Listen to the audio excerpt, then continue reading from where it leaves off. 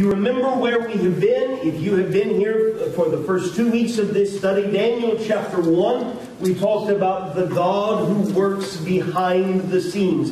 Daniel chapter 2, the God who establishes his kingdom. Uh, the setting, of course, for our study this quarter is the ancient Babylonian Empire about 2,600 years ago. Even more specifically than that, the heart of the Babylonian Empire, the city of Babylon itself, an absolutely incredible ancient uh, world in and of itself where many uh, biblical scenes are set. We're in Daniel chapter 3. We last left off the end of Daniel chapter 2, of course, this incredible dream that the great King Nebuchadnezzar has. It is a dream of this great statue with a head of fine gold and chest and arms of silver, and the middle and its thighs were bronze, and its legs were iron, and its feet partly of iron and partly of clay. And there is great distress throughout the empire because no one can be found to interpret what this vision or this dream is all about. Finally, Daniel is brought in, and by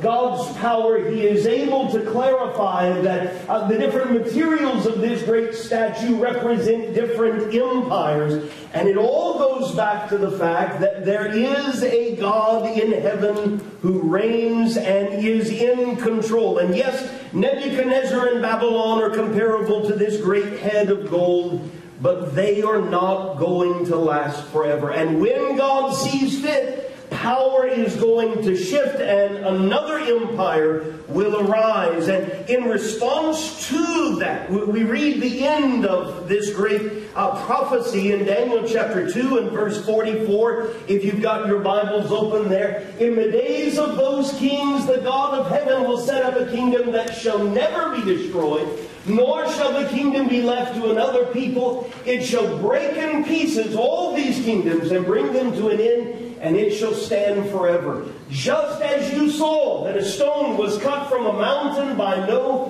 human hand, and that it broke in pieces the iron, the bronze, the clay, the silver, and the gold. Nebuchadnezzar, as he hears that, falls upon his face. He pays homage to Daniel. He commands that an offering and incense be offered up to him. The king answered and said to Daniel, Truly, your God, listen to him, because we're going to notice the shifting gears here in just a moment. He says to Daniel, Truly, your God is God of gods and Lord of kings and a revealer of mysteries, for you have been able to reveal this mystery. Then the king gave Daniel high honors and many great gifts, and made him ruler over the whole province of Babylon and chief prefect over all the wise men of Babylon. Daniel made a request of the king, and he appointed Shadrach, Meshach, and Abednego over the affairs of the province of Babylon. But Daniel remained at the king's court. And so we come to Daniel chapter 3. Last night, millions and millions and millions of people watched the State of the Union address, where we had all the, the, joint session of Congress and uh, the President of the United States and so many different people gathering in. You imagine with me that last night, whomever the president is, but we'll just take historically the one that we have right now.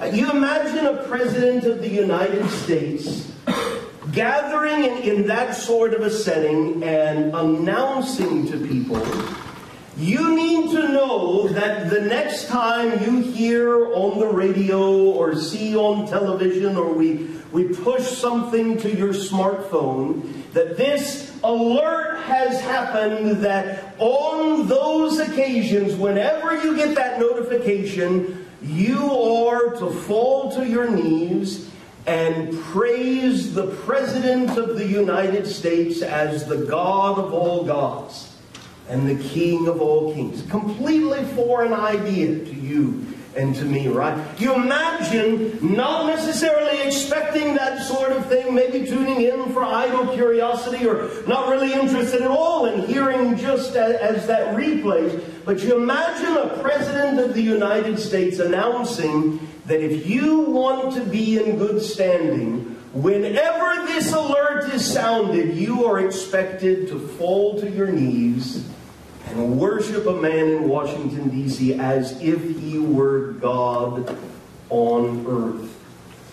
What would you be thinking in that moment? Just turn that over in your mind. This is not a hypothetical situation for three men in Daniel chapter 3. We don't know exactly how long of a time span there was between Daniel 2 and Daniel chapter 3. Daniel 2, we were listening to Nebuchadnezzar. He's just absolutely blown away at what he has heard from this Hebrew Daniel. And he's willing to appoint Daniel to a great position of authority, and Daniel makes requests for his three young Hebrew companions, and Nebuchadnezzar obliges that. But then we come to Daniel chapter 3. Verse 1 King Nebuchadnezzar made an image of gold whose height was 60 cubits and its breadth six cubits. If we take the classical definition of a cubit, we're talking about a golden statue that is roughly 90 feet tall. 90 feet tall and 9 feet wide. He sets it up about 6 miles south of the city of Babylon on the plain of Dura in the province of Babylon. Then King Nebuchadnezzar sent to gather the satraps, the prefects, and the governors, the counselors, the treasurers, the justice, uh, the magistrates, and all the officials of the provinces to come to the dedication of the image that King Nebuchadnezzar had set up. Then the satraps, the prefects, the governors, the counselors, the treasurers, the justices, the magistrates, and all the officials of the provinces gathered for the dedication of the image that King Nebuchadnezzar had set up. And they stood before the image that Nebuchadnezzar had set up. And the herald proclaimed aloud, You are commanded, O peoples, nations, and languages that when you hear the sound of the horn, pipe, lyre, trigon, harp, bagpipe, and every kind of music, you are to fall down and worship the golden image that King Nebuchadnezzar has set up. And whoever does not fall down and worship shall immediately be cast into a burning fiery furnace. It's not a hypothetical situation. There are, of course, Hebrews in Babylon. We uh, have already studied in Daniel chapter 1 how they got there. In the background section of our material for this evening, that second bullet point, God's prohibition against idolatry would have been well known to those four young men. At the head of the Ten Commandments were, You shall have no other gods before me. And you shall not make for yourself a carved image. You shall not bow down to them or serve them. The Old Testament scriptures were filled with declarations that the Lord is the one and only God. And not only that, but he has used his prophets to make clear idolatry is one of the reasons you've been sent into exile in the first place. Hebrews know all of that. And now this declaration is going all over the kingdom. Therefore, historically, we're told in verse 7 as soon as all the peoples heard all of this noise, all the peoples, nations, and languages fell down and worshiped the golden image that King Nebuchadnezzar had set up. You not only imagine hearing the declaration, but then watching as everyone else around you bows down and does exactly what King Nebuchadnezzar has told you to do.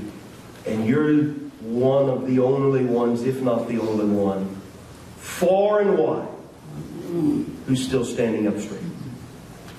Daniel chapter 3 and verse 8 Therefore, at that time, certain Chaldeans came forward and maliciously accused the Jews. Why would these certain Chaldeans do that sort of thing? do you think? This is not the first time that we're going to notice this sort of thing happening in the book of Daniel, where there are native born Chaldeans who see certain things going on and they see it as an opportunity. Why? Why would they do that sort of thing? Alex? And what is surprising is these are the same Chaldeans that were both humiliated and saved by Daniel in the previous chapter. Okay. There's already some tension. Daniel chapter 2 uh, bore that out. Some tension between native born Chaldeans who are not empowered to do what men like Daniel are able to do. Why, why would they do this? Uh, okay. They have these three individuals. They, uh, Daniel had already put them in positions. Prophet Chaldean think well, we should be in that position. They're okay. ruling, and they're put in that position. So, uh, Jealousy, did yeah. they have that part? Here are these foreigners who, whose God, in the eyes of the Babylonians, is certainly not in any way, shape, or form greater than the Chaldean gods. Otherwise, uh, Nebuchadnezzar and his armies would not have been able to do what he did to the city of Jerusalem and the temple that had stood there for so long. But they see these men climbing the ladder so very, very quickly. We noticed in chapter 1 how God gives good favor to Daniel and his companions in the midst of a, a, miraculous situation. Daniel chapter 2, Daniel is able to do something that no one else is able to do, and they just keep climbing because they're able to get the attention of the king and fulfill these whims of the king in ways that no one else can. Jealousy, perhaps, is, is very quickly entering into all of this. They see an opportunity. Everyone else is bowing, but not these Jews. And so they come forward and they maliciously accuse them. They declare to King Nebuchadnezzar, O king, live forever. You, O king, have made a decree that every man who hears all of this shall fall down and worship the golden image. And whoever does not fall down and worship shall be cast into a burning fiery furnace.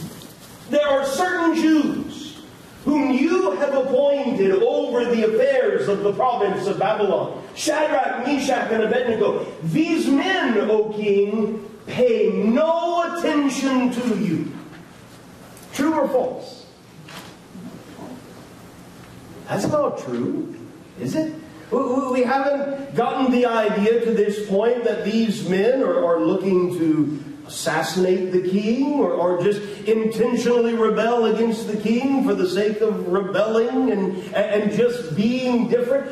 We noticed last week that they are living as good citizens to the best of their ability within the confines of, uh, of God's Word, even working to deliver other people, showing concern for native born Babylonians. But the rumor is that the line that is said to Nebuchadnezzar is they pay no attention to you. They do not serve your gods or worship the golden image that you have set up. Now that's true. Then Nebuchadnezzar, in furious rage, commanded that these men be brought. They brought them before the king. He answers in verse 14 and says, Is it true? Is it true that you do not serve my gods or worship the golden image that I have set up? Now, if you are ready, when you hear the sound of the horn, pipe, lyre, trigon, harp, bagpipe, and every kind of music, to fall down and worship the image that I have made, well and good. But if you do not worship, you shall immediately be cast into a burning fiery furnace. And who is the God who will deliver you out of my hands?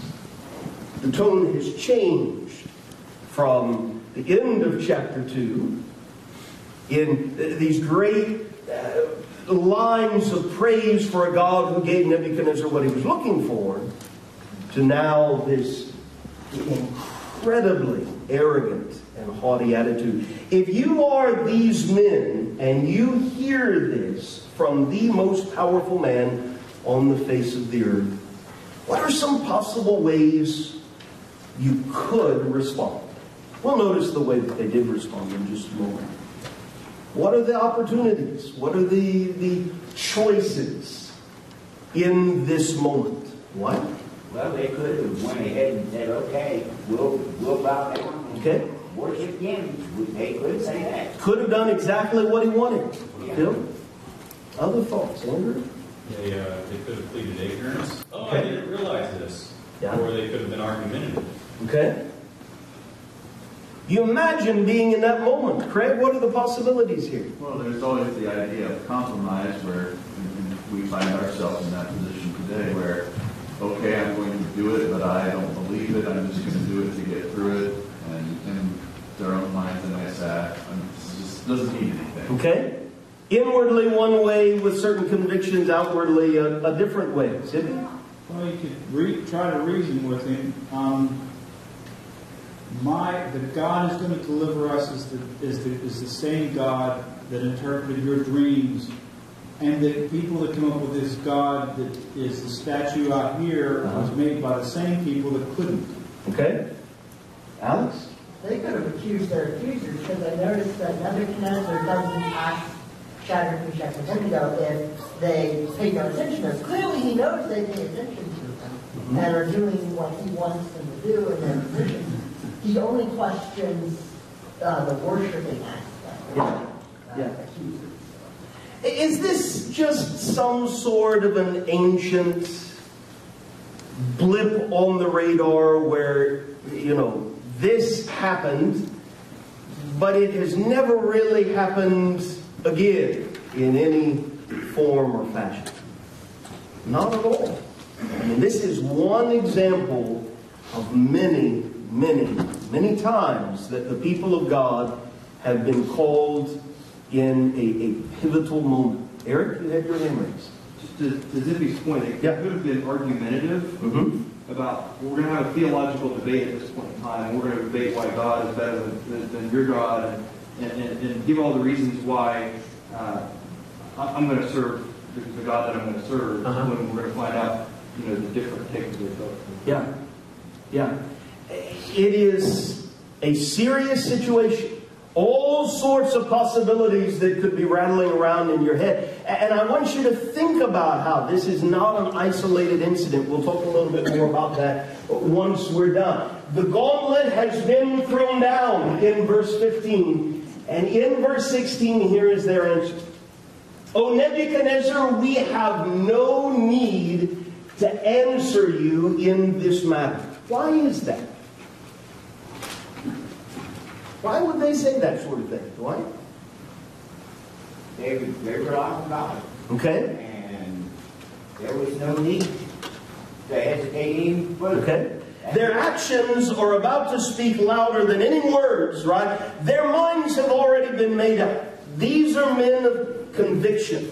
Uh, Th- There's not going to be any waffling. There's not going to be any need to try and barter your way out of this. They know exactly what he has said, and they know what they will and they will not do. Verse 17 If this be so, our God, whom we serve, is able to deliver us from the burning fiery furnace, and he will deliver us out of your hand, O king. But if not, be it known to you, O king, that we will not serve your gods or worship the golden image that you have set up. Now, uh, let's take just a moment and, and analyze what they're saying because it gives us the clearest window possible into what's going on in their hearts and how they could possibly do what they're about to do. Bottom line, verse 18, we're not going to do it. All right? Where's that coming from? Verse 17, if this be so, if this is truly what you are demanding of the people under your authority, our God, whom we serve, is able to deliver us. Why in the world, how in the world did they believe that? Where does that come from, Dwayne? So again, I mean, you look at the history of the Jewish people and you realize that, you know, by the commandment of God, they've been taught all Okay. of the times throughout their history that they've been delivered. You know, going all the way back to Exodus and being brought out of Egypt and everything that occurred between there and this point, that they realized that fire and, and things made of man is not a big deal to God. Yeah. And God can overcome. He's part of the Red Sea. He's done all of these miraculous things. Are these men able to do this because they have led very pampered, sheltered lives? Always gotten exactly what they could possibly ever want from God? Not at all. Think about where they are and how they got there. Tom, you had your hand raised. Where does this come from? Well, I, I mean, they're not, when I read that, they're not focused on what's happening to us here. They're focused on, when he, when he says he will deliver us Yeah. out of your hand, I mean, and then they're thinking maybe we're going to burn up, but we're not going to be under your authority. Okay. under- In, this regard. Uh, I mean, even if they burn up, God's going to take them and take them out of the situation. All right. Let, let's explore that for a moment. How in the world can these men, with a straight face, say, We believe God is going to deliver us? If in fact we perish in this furnace, God is still delivering us. What do they mean by that? How- could you die in such an unimaginably horrific fashion and still believe that you're being delivered? Right? Well, it speaks to their faith, obviously, and Okay. their understanding that God has a purpose. And just like many of what we've read, how will God's purpose be accomplished? Maybe they don't exactly know, but they know that it will be accomplished, whether Okay. it's by their death or by their life. Okay, Phil? You're full of complete faith in God and also knowing that no matter what man can do to you, this life tonight and sometime, All right. and then there's eternal life is waiting, and that's it. Okay. Is the story really about trust God in the midst of terrible circumstances and He will always be delivered?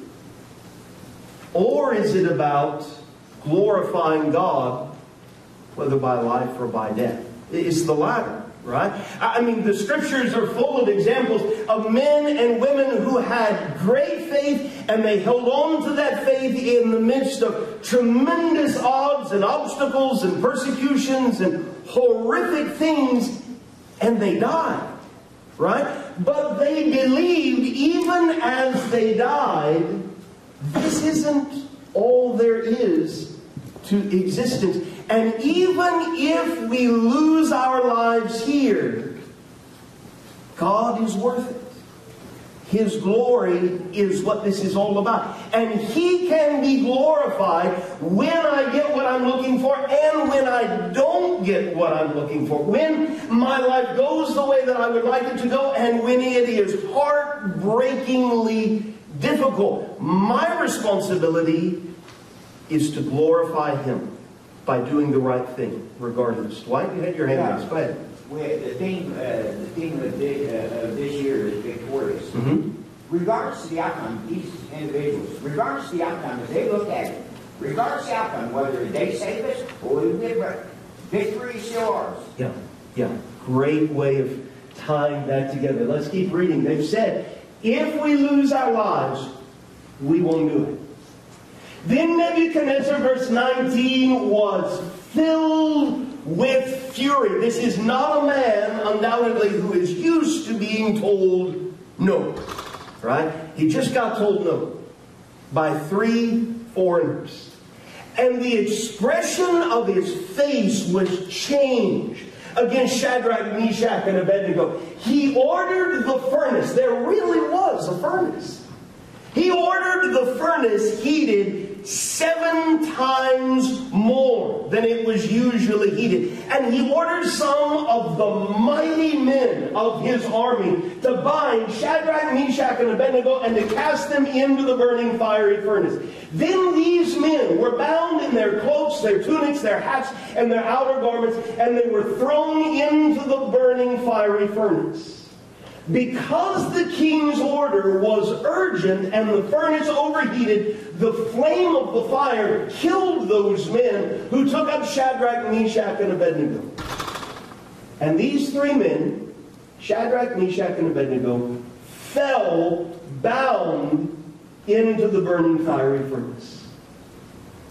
Then King Nebuchadnezzar was astonished and rose up in haste. He declared to his counselors, Did we not cast three men bound into the fire? They answered and said to the king, True, O king. He answered and said, But I see four men unbound walking in the midst of the fire, and they are not hurt, and the appearance of the fourth is like a son of the gods. What in the world do we do with that? We don't really know, right? I mean, there are all sorts of different things that might come to our minds. It, perhaps it is some angelic being. There have been those that have made arguments that, in fact, it, it would be the, the pre incarnate Son of God who is right there with them in the fire. Whomever that is, there is something otherworldly going on here, right? What are we meant to take away from this, do you think? Why is that detail of that fourth person important? Alex? It's not them that are doing this, there's Okay. something else at work. Yeah, great way of putting it. There is someone right there with them. The, the men who carried them up there, they're dead because this furnace was so hot. Not only are the three men in there, but there is another being who is right there with them. And they're standing up. They're not hurt. This fourth being, it, looks in some way incredible. Nebuchadnezzar came near to the door of the burning fiery furnace. He declared, Shadrach, Meshach, and Abednego, servants of the Most High God. Why would Nebuchadnezzar say that? I mean, obviously, that's not what he said just moments before. Remember, he asked, Who is the God who is going to deliver you out of my hand? This man has a tendency, does he not, to say whatever he's feeling in the moment and then very quickly forget it. Is he the only one that struggles with that? You know how easy it is to sing the praises of the Most High God in an assembly on Sunday morning. And then on the way home, Sunday afternoon, act in a completely God dishonoring way. Steve, you had your hand raised? Or somebody I thought maybe had their hand raised back there? Phil, go ahead. I'm just going to say, he's never seen him like this before. Yeah. But Like you say, look at what all the Jews saw when they were brought out of Egypt, Mhm. and they still forgot. Absolutely.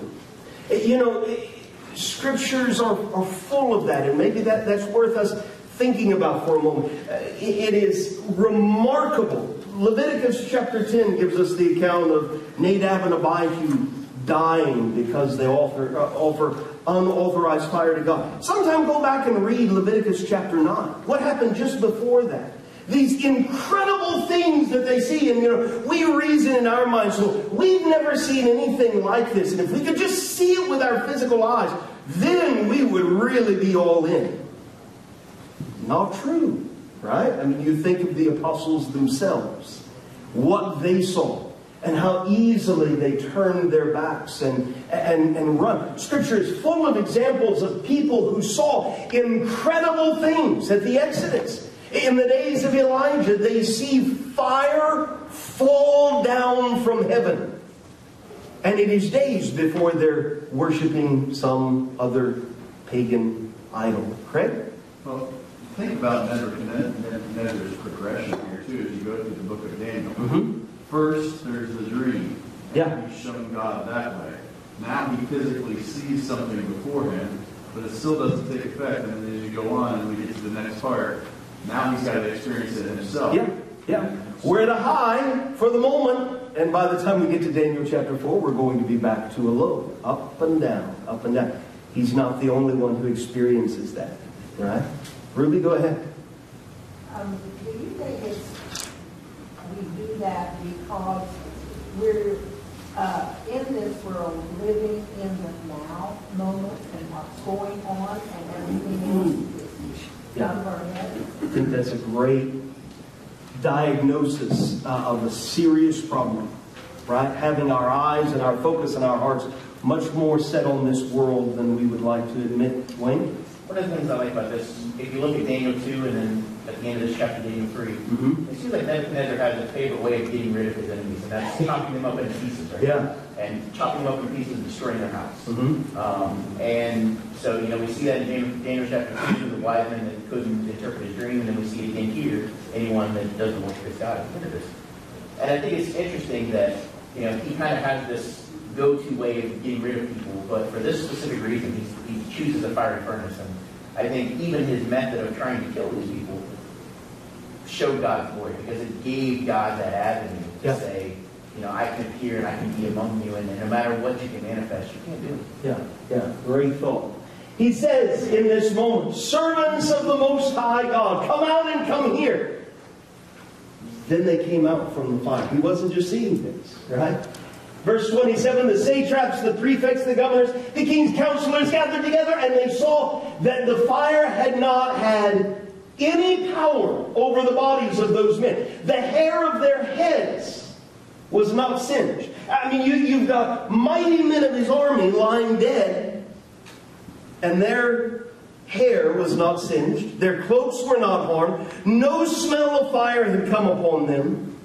Nebuchadnezzar answered and said, Blessed be the God of Shadrach, Meshach, and Abednego, who has sent his angel and delivered his servants who trusted in him and set aside the king's command and yielded up their bodies rather than serve and worship any God except their own God. Sounds strangely like the end of Daniel chapter 2, right?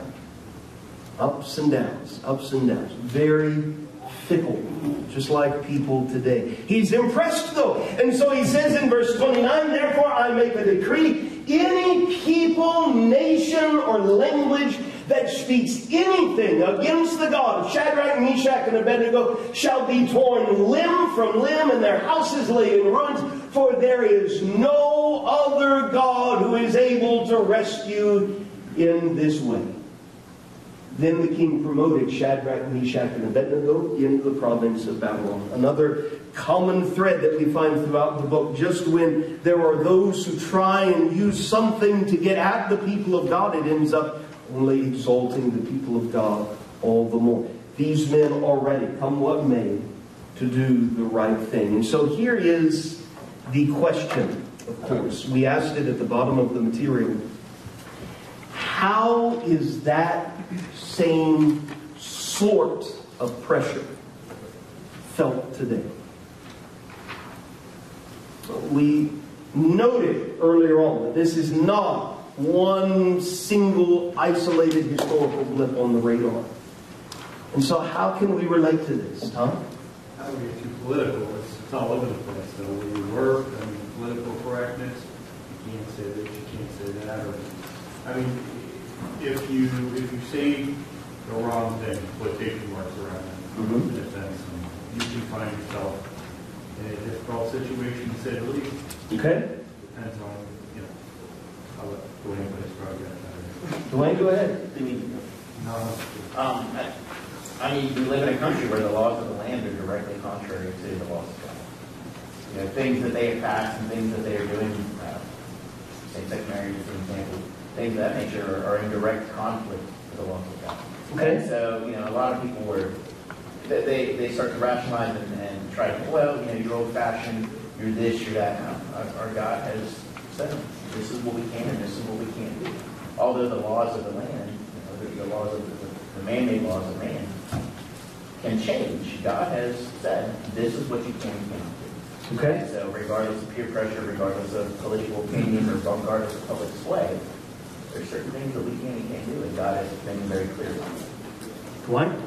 I think, um, I made mention before about Victoria's, I think, uh, you look, you look at these individuals, uh, same attitude, regardless of what we might think the outcome is, or regardless of what the outcome is, maintain our faith in God, and He would, He take us one way or the other.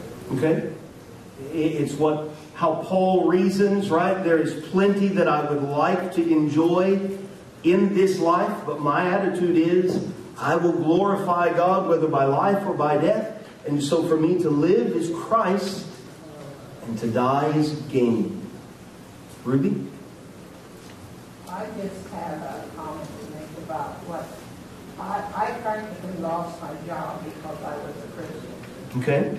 Um, it was years ago, working for Lazarus in a, not, not, women's department, which was high fashion, all this stuff. Mm-hmm. Because my name was Greenwald. They thought I was Jewish. And she said something, now I said something about uh, services or something. She Mhm. said, well, you're Jewish. And I said, no, I'm not, I'm a Christian. And I wasn't, next day, I was in the bargain basement downstairs. Really? And I, I, it was all, they were real nice to me there. Yeah. They were helping me out. They were, and then I changed, had changed my, because I was not what they were. Yeah. Phil, go ahead. The other day, uh, the stuff going on overseas, I saw Franklin Graham say on a news program that said about the Christians being told that well, in their heart they can change. But yet what he was getting at, in their heart they can change, but it's still about living the way, what, how they want you to do. So don't do any outwardly and show their faith, and that's kind of what's going on. More and more in this hyper-connected world, we hear horrifying things that are going on in different parts of Asia, different parts of Africa. Uh, this is not hypothetical in real life parts of the world in which we live. I'm, I'm just kind of going from left to right here. Craig, go ahead. Well, if you look at the big picture here, God has created man to serve him, Mhm. glorify him like we talked about. He's put us in this world and we have a choice to make. And as we find our way through life in different nations, countries, times, we have that choice to make. And each one Yeah. of us in different times and places are going to experience different pressures and different things, but there's always going to be that choice out there. Will we serve God or will we obey man? Yeah, What we're going to look at. yeah. Somebody else. Jason, you have your hand raised. Go ahead. kind of just, I think our culture encourages us to do a lot of things.